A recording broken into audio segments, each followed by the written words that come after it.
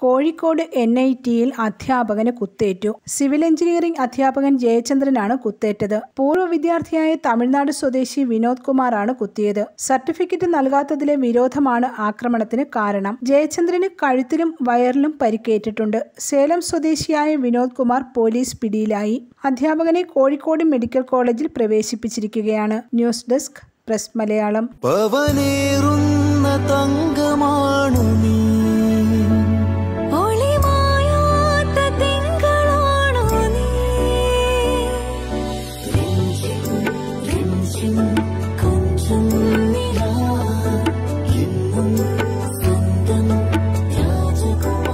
Be a Rajakumari.